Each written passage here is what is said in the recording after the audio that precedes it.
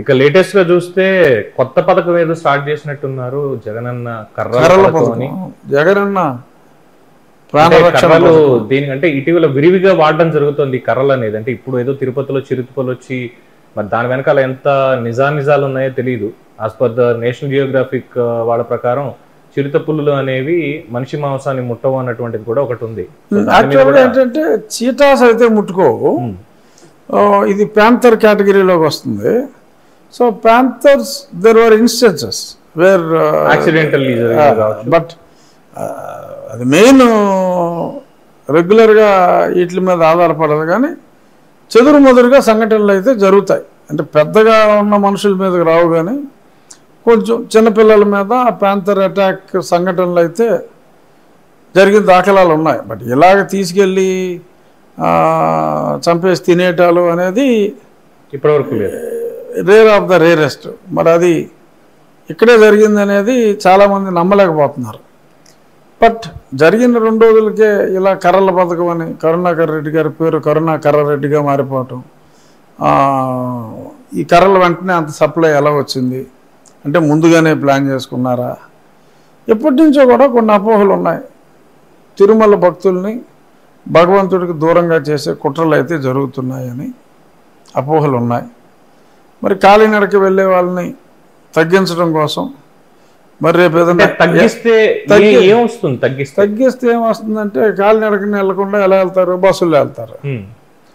బస్సులు ఎలక్ట్రానిక్ బస్సులే ఉండాలని పెట్టారు ఇప్పుడు ఎలక్ట్రిక్ బస్సులు. ఓకే. ఎలక్ట్రిక్ బస్సు కొనుక్కుంటే ఒక బస్సుకు యాభై లక్షలు కొట్టేయచ్చు.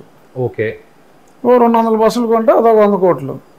అది కూడా ఓకే సార్. వంద కోట్లు అనేది అంటే ఇప్పుడు వింటున్న ఈ అవినీతి వీటిల్లో ఎక్కడ కోటి రూపాయలు తీసుకున్నారు లేదంటే ఐదు కోట్లు తీసుకున్నారు ఏది రావట్లేదు. అన్ని యాభై కోట్లు వంద కోట్లు అని చెప్తున్నారు కాబట్టి సరే ఆ విషయం కూడా వదిలేస్తాం.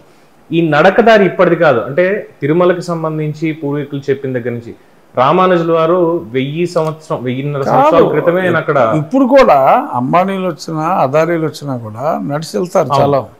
ఎందుకు అంటే అదొక అదొక మొక్కు. అదొక మొక్కు. మొక్కు కూడా. ఆ మొక్కుకున్న వాళ్ళే వెళ్తారు. లేకపోతే అంత దూరం తిరుపతి వచ్చినాడు రైలు బస్సులో వచ్చినాడు ఈ పది కిలోమీటర్లు బస్ టికెట్ కొనుక్కుని వెళ్ళాక కాదుగా? అదొక ట్రెడిషను. మరి ఇప్పుడు నరకదారిని వెళ్ళే వాళ్ళకి ఉచిత దర్శనం ఇవ్వాలని ఏదో ఉంది. అది తగ్గించుకుంటే వీళ్ళు పదివేల టికెట్లు ఎక్కువ అమ్ముకోవచ్చు. అంటే నాలాంటి సామాన్యుడు కూడా పదివేలు పెట్టుకుంటేనే స్వామివారిని అదేదో శ్రీవాణి అని చెప్పి జయవాణి అని చెప్పి ఏదో స్కీమ్ లేసి కూడా వేస్తున్నారు సరే అది కూడా యాక్సెప్ట్ చేస్తాను సార్. శ్రీవాణి ట్రస్ట్ని కూడా నేను నమ్ముతాను అనుకుందాం. ఆ పదివేల రూపాయల దాంతో కాశ్మీర్లోను కన్యాకుమారిలోను మేము ఇన్ని ఇన్ని రకాల దేవాలయాలు మేము నిర్మిస్తున్నాం అని చెప్పే బదులు ఇక్కడ మెట్ల దారికి సంబంధించి ఆల్రెడీ షెడ్లు వేయించారు దాతల సహకారంతో. నాకు తెలిసి రిలయన్స్ వారి సహకారంతోనే షెడ్ మొత్తం వేయించడం జరిగింది అని తెలిసింది. ప్రభుత్వం పూనుకొని టీటీడీని కలిసి ఆ ఫెన్సింగ్ చేస్తే ఈ కర్రల పథకం లేదంటే ఈ తిట్ల పథకం ఏమి ఉండదు ఫెన్సింగ్ ఏంటంటే ఒక one point two to one and half kilometre అక్కడ ఫెన్సింగ్ వేయకూడదు. ఎందుకంటే యానిమల్ ఫ్రీ మూమెంట్కి అబ్స్ట్రక్ట్ చేయకూడదు. సో దానికనే అలిపిరి టు గాలిగోపురం వరకు నో ప్రాబ్లం అంతా హాకర్స్ అందరూ ఉంటారు. ఎప్పుడు సందడిగా ఉంటుంది. ఇబ్బంది లేదు. థిక్ ఫారెస్ట్ లేదు. అక్కడి నుంచి లక్ష్మీ నరసింహస్వామి టెంపుల్ ఎక్కడైతే ఇన్సిడెంట్స్ కూడా జరిగినాయో అక్కడ వరకు ఫ్రీ ఫ్లో ఆఫ్ యానిమల్స్ ఉంటాయి.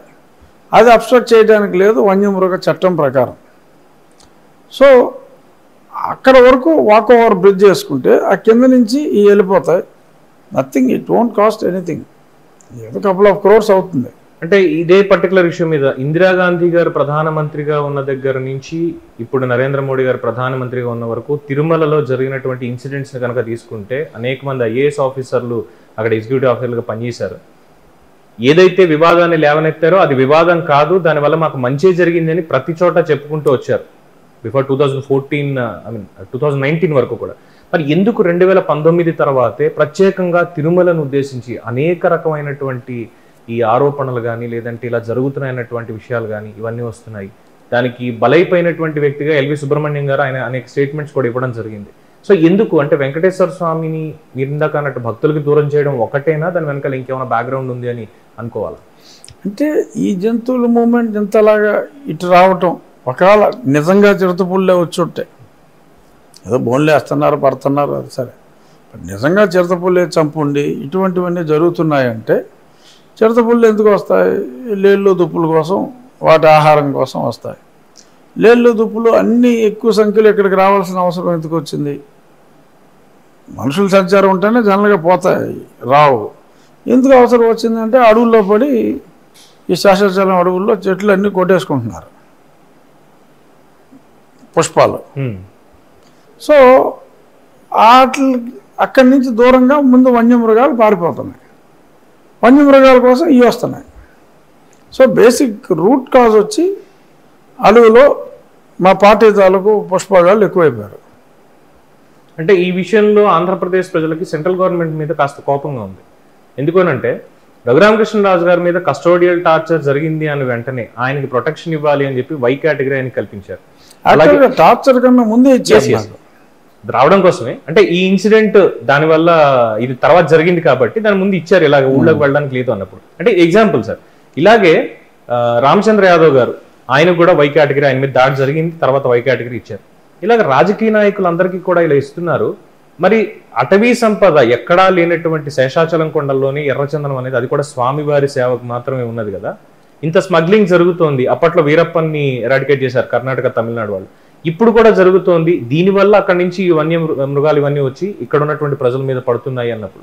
సెంట్రల్ గవర్నమెంట్ ఎందుకు దాన్ని టేక్ ఓవర్ సెంట్రల్ గవర్నమెంట్కి ఇది సంబంధం లేదు. ఫారెస్ట్ డిపార్ట్మెంట్ వస్తుంది కదా. ఫారెస్ట్ ఇది స్టేట్ సబ్జెక్ట్ ఇది.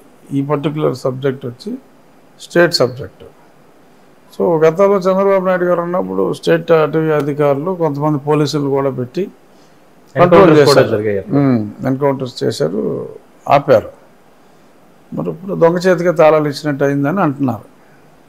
సో ప్రజలు దీనికి మీరేమంటారు అనేది కింద కామెంట్స్ రూపంలో చెప్పండి. ఇది కరెక్ట్ ప్రశ్న కాదా అనేది ఎందుకంటే నేషనల్ లెవెల్లో దీనికి సంబంధించి చర్చ ఖచ్చితంగా జరగాలి ఏ స్టేట్లో అయినా సరే ఎలాగైనా సరే. మన సంపద మనం కాపాడుకోవడానికి.